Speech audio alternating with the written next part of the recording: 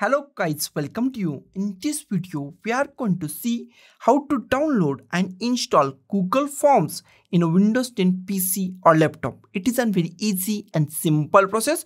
So let's go to our video. First, open Google Chrome. Go to the Google Chrome. In Google Chrome, go to the new tab. Click on this plus button. New tab is open. In new tab, here we find Google Apps. Click on Google Apps. Click on Google Apps. In Google Apps, scroll down and find Forms click on the forms click on the google forms and google forms is open in a few seconds. Google forms is open now. Click at here. Here we find in a chrome we find three dot click on this three dot in a three dot scroll down and find save and share. Go to the save and share. In a save and share we find create a shortcut. Click on create a shortcut. Here we find google forms. You can give any name. Imp is open as a window. Check this select this and click on create and new pop-up window is appear. Close it. Click on no thanks. Close the google chrome. On desktop we find google forms.